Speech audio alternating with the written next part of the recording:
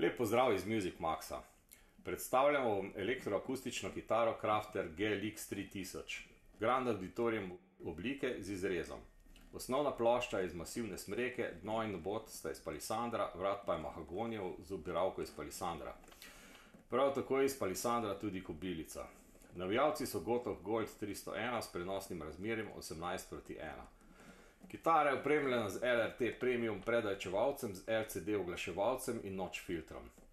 Uravnotežen in naraven zvok omogočata dva odjemnika. LR-Bax Element Pickup pod sedlom, drugi pa je Soundboard Sensor Pickup.